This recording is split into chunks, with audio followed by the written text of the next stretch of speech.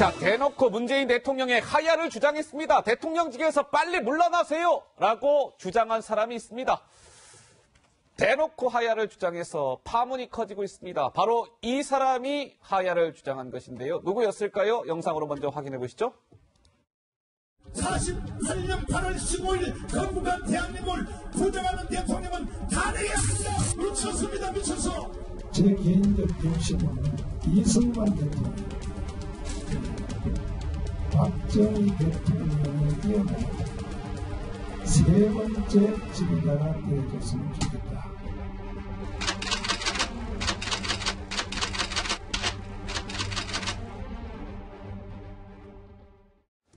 자, 한국 기독교 총연합회 전광훈 목사가 대표죠, 지금 한기총회. 근데 얼마 전에요, 시국 선언문을 통해서 하야를 주장해서 큰 논란을 불러일으켰는데, 김민지 기자, 오늘은 정말 대놓고 하야를 주장했다면서요? 네, 오늘 2시에 여기 프레스센터에서 기자회견을 열었어요. 그래서 자신의 뭐 발언에 관해서 철회하는 대신에 더더욱 그런 큰 주장을 했는데. 아하, 오늘 모습이군요. 네, 문 대통령의 하야를 촉구하는 그런 기자 내용으로 기자회견을 열었습니다. 이곳에는 정광훈 목사를 또 지지하는 지지자들도 한 200여 명 함께 했다고 하는데요.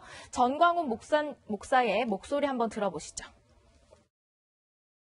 오늘 우리가 이 자리에 모인 것은 이대로 가다 대한민국이 없어질지도 모른다.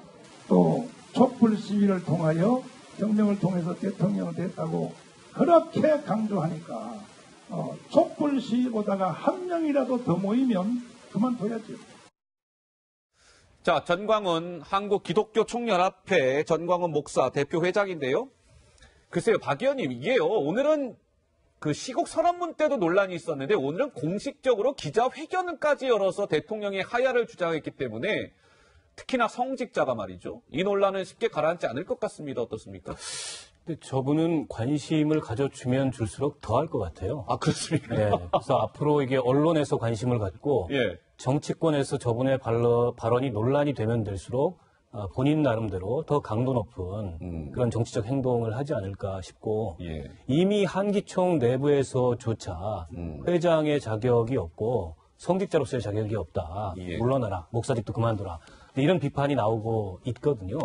이쯤 되면 저분은 이제 종교인으로서의 어떤 발언을 하는 게 아니고 거의 정치적인 발언을 음. 정치적 발언. 아, 거침없이 하고 있는 거고 예. 저거는 우리 헌법이 명시하고 있는 이 재정 분리의 원칙에도 어긋날 뿐더러 음. 상식적인 생각을 가진 사람들이 저런 전광훈 목사의 뭐 대통령 하야 주장이라든지 대통령은 빨갱이다 이런 주장에 대해서 누가 도- 동의하고 수긍을 예. 하겠습니까? 그러면서 저는 저분에 대해서는 관심을 안 갖는 게 최선의 대책이 차라리 아닐까 그냥 관심을 끊어야 된다. 네.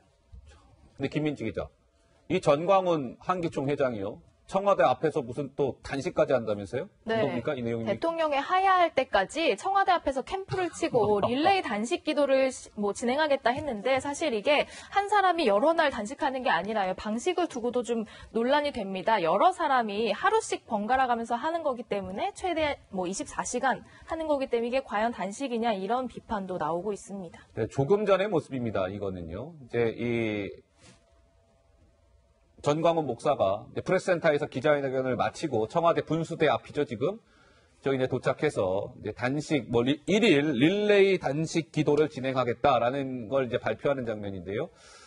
자, 글쎄요 이게 점입 가경입니다, 김 교수님. 그렇습니다. 그러니까 예. 사실은 그 태극기 그 집회에 이제 열성적으로 참여하시는 기독교 분들 많이 계세요. 예. 다 개인적인 또 자기의 정치적 의사 표현이기 때문에 뭐 충분히 존중합니다만 저분은 지금 한기총이라고 하는 이른바 한국 기독교 총연합회라고 나름대로 조직의 수장으로서 지금 돼 있기 때문에 언론에서 지금 관심을 갖고 보는 거거든요. 예. 그러면 한기총의 대표회장으로서 한기총의 전체적인 공론화와 어떤 의견의 어떤 일치도 보지 않은 상태에서 개인의 의견으로 대통령 하야 발언을 하면서 지금 문제가 시작이 된 건데 음. 저는 교회에서 성직자가 자기 교회에 온 성도분들한테 정치적인 의사표시를 분명히 하지 않는 게 불문율입니다. 예. 어떤 총선이나 대전 앞두고도 그렇게 하는 목사님을 제가 본 적이 없어요. 근데 지금 저분은 아주 대놓고 지금 대통령 하야와 대통령 하야를 위한 지금 금식 기도를 하겠다는 거 아니겠습니까?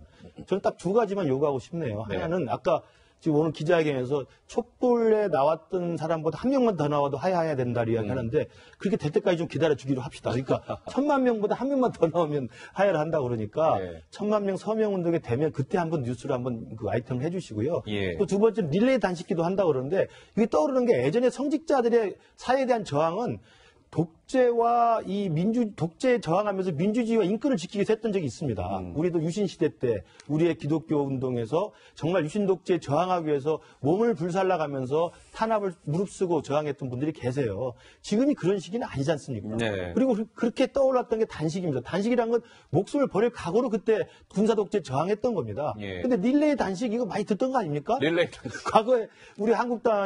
패스트트랙 이후에 어. 릴레이 단식한다고 간헐적 단식으로 또 비아냥 받고 그랬잖아요. 왜 저런 모습을 보입니까? 예. 정말 제가 볼 때는 일단 성직자로서는 정말 좀 해서는 안 될 부분까지 너무 나간 게 아닌가 좀 안타깝습니다. 자, 지금 전광훈 목사가 대표 회장으로 있는 어, 한국 기독교 총연합회 내부에서도 이 전광훈 목사 행보에 대해서 우려의 목소리가 나왔다고 하네요. 자, 한기총의 비대위 대변인입니다. 아, 김인기 대변인인데요. 잠깐 목소리 듣고 오시죠. 제가 볼 때는 정가훈 목사가 한기총 회장이 된 거는요. 이 지금 내년 이제 총선도 다가오고 어떤 정치적인 목적으로 어, 한기총 회장에 출마한 것이지.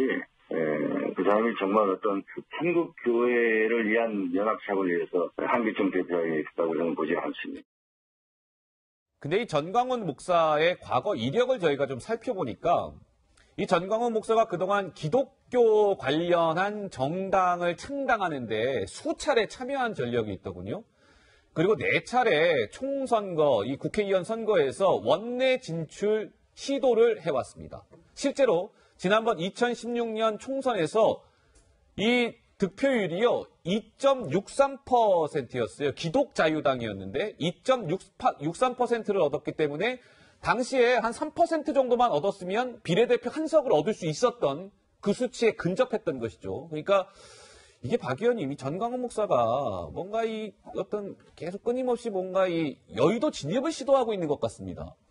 뭐 개인의 여의도 진입인지는 모르겠으나 예. 어쨌든 보수 개신교를 배경으로 정치 세력화를 시도하는 정치 거죠. 세력화. 근데 과연 그게 이 우리 개신교 이 어, 교인들의 지지를 얼마나 받을 수 있을 거며 더 나아가서 우리 국민들의 지지를 얼마나 받을 수 있겠습니까? 사실은 굉장히 위험한 어, 시도이고 예. 굉장히 위험한 행동을 저는 하고 있다고 보고요. 또한 가지 지적하고 싶은 바는 전광훈 목사의 이딴 저런 그 무리한 발언이 알려지면서 예. 어, 대한민국의 모든 공당이 그런 발언의 부지- 부적 절성에 대해서 지적하고 비판을 했는데 유독 자유한국당과 황교안 대표는 그에 대해서 아무런 어, 발언 없이 이런 반구 없이 넘어가고 있습니다. 예, 예. 전광훈 목사가 황교안 대표를 향해서 뭐 세 번째 지도자가 됐으면 좋겠다 이런 덕담까지 했다는데 그런 전광훈 목사와 또 한기총 그리고 자유한국당과 황교안 대표의 친밀감이 예. 저런 부적절한 행동에 대해서 침묵하게 만드는 것은 아닌지 그런 점에서 매우 우려스럽습니다. 그러니까 실제로 얼마 전에 그 이 전광훈 목사가 대통령 하야를 처음으로 요구했던 시국 선언문이 나왔을 때 오늘 말고요 그 전에 그 당시에 지금 화면에 보여지고 있는 것처럼 저 사당은 전광훈 목사 저 하야 발언에 대해서 굉장히 비판의 목소리를 냈는데 당시 한국당 같은 경우는 사실 전 목사 하야 발언에 대해서 직접적 반응은 없었단 말이죠. 그렇죠. 그러니까 저것도 지금 한국당이나 황교안 대표가 처해 있는 딜레마입니다. 딜레마다. 그러니까 그런 부분들을 정리를 해주지 않고서는 지금 30%대로 정당 지지도 올라갔다 지금 20%대로 왔다 갔다 하지 않습니까? 예. 그러니까 외연을 확장하고 중도로서의 많은 그 이른바 스윙 보터들의 마음을 살 수 있는 그 노력을 해야 되는데 저렇게 정가훈 음. 목사 같은 저런 식의 어떤 극우적이고 좀 강경한 입장들에 이렇게 포위가 되는 한더 빠져나갈 수가 없거든요. 예. 그러니까 왜냐하면 황교안 대표도 굉장히 독실한 크리스찬 알려져 있지 않습니까? 그렇죠. 또 선교사 자격증도 가신, 가지신 분으로 알려져 있기 때문에 바로 그러한 기독교와 개신교의 지지를 받는 건 좋으나 그 중에서도 너무 극단적인 주장하는 쪽과 너무 친해진 모습을 보이니까 한견 대표 스스로 딜레마 상황에 빠진 거예요. 그러니까 저 부분을 정리해 주는 게 필요하고요. 예. 또 하나는 정가원 목사가 제가 그래서 취재를 한번 해봤더니 어. 저분이 저렇게 나서가 정치적 발언 또 태극기 집회 가서 발언하는 걸 보면 처음 시작은 기독교를 탄압하고 종교의 자유를 없애려고 하는 어떻게 북한을 우리가 가만 놔버려둘 수 있느냐. 예. 그러니까 북한은 종교 자유가 없고 우리 기독교를 말살을 하기 때문에 김정은 정권의 인권 탄압과 종교 탄압에 대해서 우리가 할 말을 해야 된다. 이 주장을 하셨던 분이래요. 그러니까 음. 거기까지는 오케이입니다. 그러면 그렇게 하기 위해서는 북한 선교를 하거나 기도를 하면 되는 것이지 예. 그걸 하기 위해서 대한민국의 정치적 상황에 들어와서 굉장히 강경한 정치적 발언을 쏟아놓거나 음. 아니면 어떤 무슨 하야 운동을 한다든지 이렇게 하는 건 좀 결이 다른 거거든요. 그러니까 저는 만약에 저렇게 기독자유당까지 만들어서 2점 몇 프로의 지지를 얻었던 분이라고 한다면 예. 혹시라도 황교안 대표를 또 엑스맨으로 삼아가지고 지금 원내지 죽고 그런 게 아닌지 정말 우려스럽습니다. 좀 예. 구분을 했으면 좋겠어요. 북한 선교나 북한의 그런 참담한 상황을 개선하려는 그 의지는 알겠으나 음. 저걸 너무 지금 연장이 돼가지고 지금 대한민국 정치상 한국판에 들어와 있는 거거든요. 예. 그 부분은 조금 좀 구분을 해줬으면 좋겠습니다. 알겠습니다. 전광훈 목사의 어, 대통령 하야 파문 소식까지 전해드렸습니다. 시간이 다 됐습니다. 저는 60초 1분 후에 다시 돌아오도록 하겠습니다.